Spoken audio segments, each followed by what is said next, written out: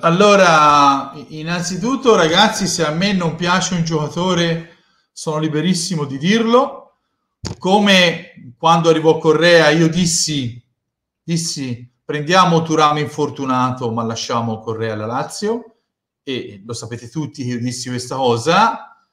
Eh, dove fu, fui anche insultato, dove addirittura all'acquisto di Correa gli interisti inventarono il ballo tucutucu, come quando dissi Gosens non va preso, un giocatore tutto rotto nel calcio di Zaghi non ci fa nulla, a noi serviva una punta ma pre- prendono Gosens perché lo pagavano dopo 18 mesi, non perché ci serviva, eh, con Perisic miglior eh, esterno del campionato. L'Inter prende Perisic perché non lo paga, prende scusa Gosens perché non lo paga, anche lì tutti contro, poi dopo eh, Gosens ha fatto 90 minuti una volta in due anni ed è il campo che parla chiaro.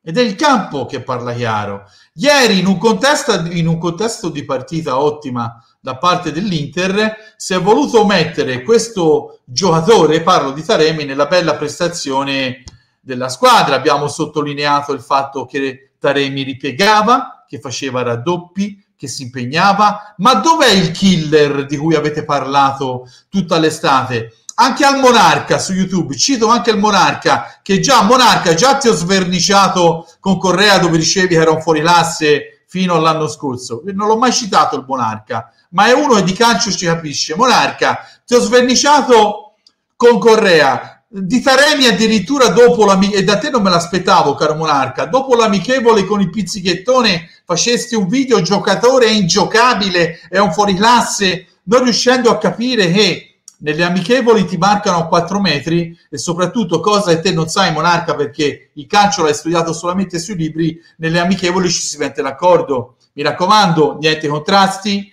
non, non bisogna entrare duro e possibilmente marcate gli attaccanti ad un metro un metro e mezzo. E quello si fa caro Monarca. Quindi ci sono delle prese di posizione da persone di YouTube eh, di posizione strumentali, ci sono delle prese di posizione strumentali mai oneste perché devono, eh, per ottenere eh, dei consensi, eh, elogerebbero chiunque, eh, anche dopo amichevoli, quando uno fa tre gol.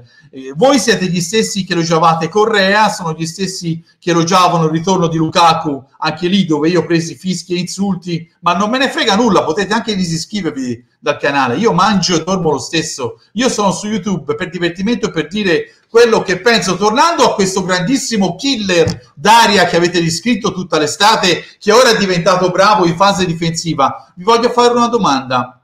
Lo mettiamo al centrocampo, Taremi, allora? Lo mettiamo a fare la fase difensiva? Dov'è il killer instinct che avete descritto tutta l'estate? Perché questo giocatore non è mai a parte l'amichevole alla sagra del prosciutto, non è mai riuscito a tirare in porta, pur incontrando squadre senza offesa, ragazzi, come il Lecce, come il Genoa e come il Monza. Non è mai riuscito a tirare in porta. Ieri in due contropiedi dove doveva puntare l'uomo e crearsi lo spazio per tirare in porta, il signor Taremi rallenta il gioco e passa la palla dietro perché gli tremano le gambe. Ma lo elogiamo perché ha fatto un'ottima fase difensiva. Quindi Taremi lo abbiamo preso per fare la fase difensiva e non per fare gol, giusto? Gli diamo 4 milioni per fare i ripiegamenti e per fare i raddoppi in fase difensiva, giusto? Perché ieri se non era per Turami che teneva la squadra alta, noi venivamo schiacciati, saremmo stati schiacciati.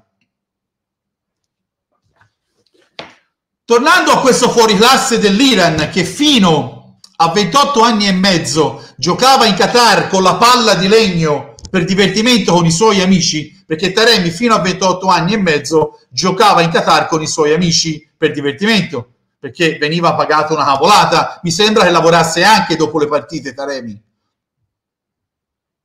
Questo grande killer d'aria che avete descritto voi tutta l'estate questo grandissimo killer che ora lo state esaltando per la grandissima fase difensiva che è. Siete gli stessi che lo avete esaltato tutta l'estate per eh, il killer instinct che ha sotto porta. Dov'è?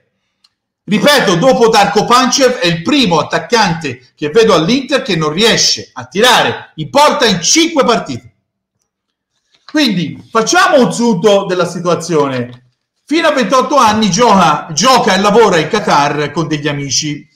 Va in Portogallo dove ha solo un anno con il botto. Ripeto, il Portogallo è un campionato dove ad oggi Joao Mario fa 20 gol, dove Hulk era un fenomeno, dove Jackson Martinez faceva 50 gol e poi è sparito, dove tantissimi giocatori erano fuori classe e fuori dal campionato portoghese hanno fatto schifo. Quindi Taremi ha una stagione al Porto dove fa 30 gol, poi per il resto questo grandissimo bomber in 184 partite in Portogallo fa 90 gol. In tre anni fa 10 gol in Champions League. Cosa vuol dire? Vuol dire che a parte l'anno dove ha fatto 30 gol, questo giocatore in 142 partite ha fatto 50 gol. E caro Monarca, come dici sempre te, i numeri contano o no? Quindi anche te ora per i tuoi amici devi cercare dei consensi e stai parlando bene di un giocatore che sicuramente non ti piace conoscendoti, ma hai bisogno dei consensi su YouTube, caro Monarca, ma lo sai mi conosci bene a livello calcistico. Io te l'ho sempre detto, te lo hai letto il calcio sui libri, ma non lo hai mai giocato, non lo hai mai respirato e si vede, te e i tuoi amici che parlate bene ormai di qualsiasi cosa perché dovete ricevere dei consensi. Ti faccio anche pubblicità, guarda Monarca oggi. Quindi lo abbiamo preso per fare il lavoro sporco dietro o per fare eh, gol, perché ieri lui ha avuto l'occasione per crearsi spazio i due contropiedi, ma ha appoggiato la palla indietro, perché non se la sente nemmeno di tirare in porta. Quindi mi spiegate dov'è questo grandissimo killer? Eh, io lo so che ieri ha giocato bene Taremi, ma ha giocato bene in fase difensiva.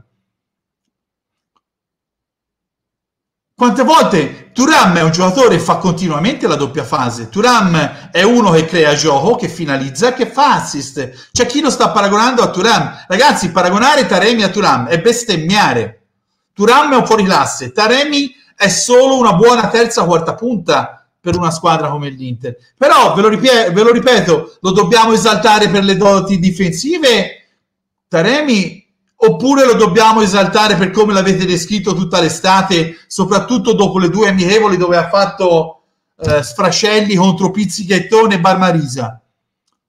Perché io te lo dico, io lo so che Taremi farà i suoi gol, ma un attaccante che non riesce a tirare in porta a me preoccupa sinceramente perché forse non ha la personalità per riuscirsi a creare il tiro perché ieri hanno tirato in porta difensori, centrocampisti, esterni, tutti tranne lui e anche quegli altri fanno la fase difensiva quindi la scusa che ha fatto la fase difensiva non conta perché si è trovato nella fase di attacco e hanno tirato in porta tutti. Tira in porta gente non dovrebbe tirare, mentre lui che dovrebbe tirare non tira in porta. Il campo dice questo, io sono liberissimo di dire se un giocatore mi fa cacare e a me Taremi mi fa cacare. Punto e basta.